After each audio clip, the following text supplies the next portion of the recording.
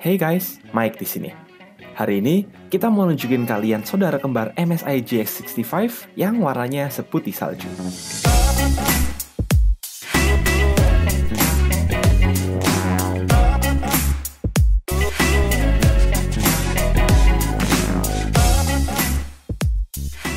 Sebenarnya, buat kalian yang udah pernah nonton review atau nyoba GX65, mestinya bakal familiar sama konstruksi P65 Hampir seluruh bodinya terbuat dari aluminium di coating warna putih di versi limited edition ini. Kedengarannya sih normal untuk sebuah laptop kelas elit yang ngejar tipis, tapi konstruksi aluminium ini fleksi alias nggak solid.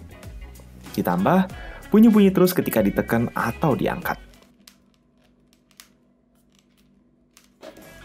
Gue yakin ini cukup annoying buat siapa pun yang make, dan kalau ini emang demi reduksi bobot, gue lebih prefer nggak apa-apa berat dikit asal solid. Semoga jangan jadi kebiasaan di setiap laptop tipis MSI.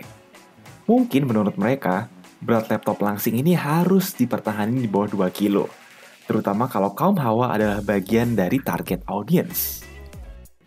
Sip, kembali lagi ke warna unik laptop ini. Kita sih senang semakin banyak laptop performa tinggi yang ngasih opsi warna di luar hitam. Karena toh banyak kreatif profesional yang pingin punya sesuatu yang stand out dari yang lain. Dan nggak perlu label laptop gaming. Apalagi, warna putih gini mungkin bakal ngundang makin banyak cewek untuk pakai laptop MSI. Hmm, dari segi finishing sih mulus, elegan, kelihatan lah kalau barang ini barang mahal. Dekorasi pun minimal, cuma ada logo naga di punggung dan tulisan prestige di bawah keyboard. Ada pula sedikit aksen-aksen mengkilap di sekeliling frame dan di bagian exhaust. Di atas keyboard, ada intake udara yang sekilas kayak bermotif salju. Layar laptop ini bisa dibuka dengan satu tangan sampai 180 derajat.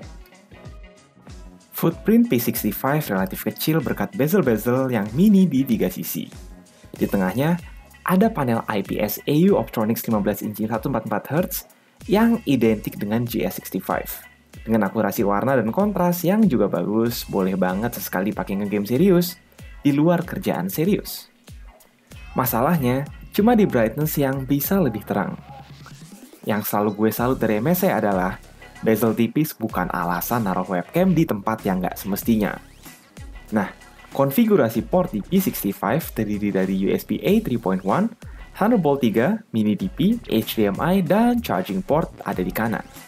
Sedangkan Kensington Lock, LAN port 2 USB A 3.1, dan dual audio jack ada di kiri. Sebenarnya sedikit miris karena laptop berlabel creator tanpa slot SD card itu umpama HP gaming tanpa headphone jack. Ngewajibin para video dan fotografer bawa adapter tambahan. Dilihat dari hardware, ternyata masih identik dengan GS65, yaitu bersenjatakan Core i7 Kavi Lake Hexa-core di samping GTX 1070 Max Q 8GB which means performanya bisa dibilang identik dengan GS65 juga. Skor benchmark normal, nggak ada throttling yang terlalu signifikan meski desainnya tipis. Di sisi produktivitas, P65 bisa ekspor video 1 menit dalam waktu 32 detik di Adobe Premiere Pro CC. Disuruh main game juga yang lancar-lancar aja, contoh main PUBG dan ROTR. Lalu game-game e-sport dijamin tembus 144 FPS. Buat yang belum tahu, P65 diinginkan oleh triple fan yang ngebuang via 4 heatsink. Selama bisa tahan kebisingan suara cooler boost yang high pitch, laptop ini adem-adem aja buat kerja keras, termasuk di permukaan atas karena sistem ventilasinya mantep. Nah, kekurangan utama yang ada P65 garis miring Kia 65 ini adalah sulitnya bongkar buat upgrade. Sebab, kita mesti bongkar sampai seluruh motherboard untuk akses kedua slot RAM dan satu slot SSD yang upgradable. Jadi, kalau kalian belum puas dengan RAM 16GB single channel serta SSD 512GB yang udah terpasang di unit SKU kita ini, wajib ke service center kalau mau nambah memori maupun storage. Di sisi lain, gue mengapresiasi keputusan MSI untuk nggak maksain naruh numpad di laptop 15 inci bezel-less. Hasilnya, kita dapat keyboard normal yang luas. Relatif enak dipakai ngetik walau cetek ditambah backlight biru muda 4 tingkat. Beda sama iluminasi RGB di GS65. Perbedaan kedua adalah di touchpad yang dari feel cukup oke okay dan akurat berkat Windows Precision Driver, yang kali ini dapat bonus fingerprint reader macam PS42. Sayang, posisinya lagi-lagi di kiri atas. Minta banget di-unlock pakai telunjuk kiri daripada telunjuk kanan. But oke, okay, fingerprint sensor itu convenience yang wajib ada di zaman now. P65 ini nggak cuma portable, tapi juga dijamin bisa lebih lama nemenin kita kerja tanpa colokan. Baterai 82WH di dalam sini kuat sekitar 7 jam untuk penggunaan ringan seperti ngetik atau streaming video. Jadi jelas nilai plus dibanding beberapa laptop gaming lain, apalagi power brick-nya juga nggak begitu gede. Satu lagi hal yang annoying dari P65 adalah kualitas speakernya kelewat basic untuk harganya. Apalagi setelah dengerin laptop-laptop ROG di price range setingkat.